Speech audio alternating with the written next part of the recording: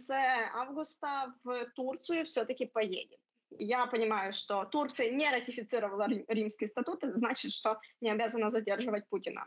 Однако, если хоть какая-то доля процента о том, что Путина могут задержать, и почему в целом Путин решил полететь в Турцию?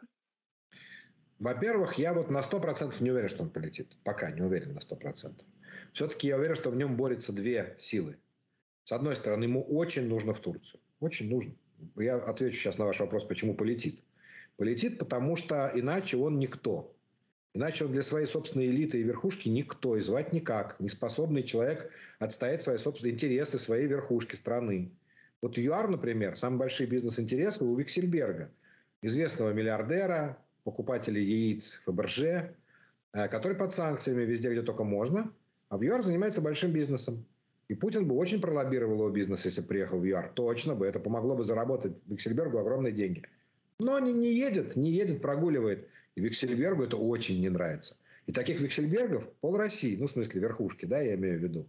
Им всем надо отстаивать интересы за границей. И все это делает для них Путин. А сейчас нету. Путин не выездной. Зачем им не выездной президент? Вообще зачем он им нужен такой?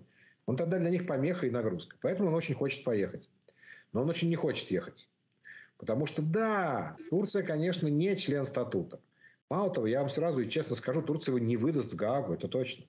Но сколько неприятностей можно причинить Путину, причем хотя бы эмоционально очень больших. И э, представьте себе оказаться в заложниках у Эрдогана, а все время поездки. Да, Эрдоган не выдаст. Ну, как не выдаст? Он такой скажет, ну, понимаете, конечно, я вас не выдам. Ни в коем случае.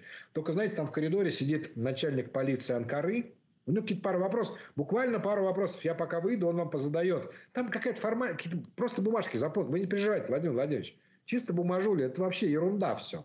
Каково им будет, Владимир Владимирович? Очень плохо. Это быть в заложниках. Просто вот Ятаган будет занесен над головой. Да, э, Ятаган, значит, нашего президента Турции Эрдогана. Поэтому им очень страшно туда ехать. Не выдадут, нет, не выдадут. Но очень неприятные минуты ему придется там прожить.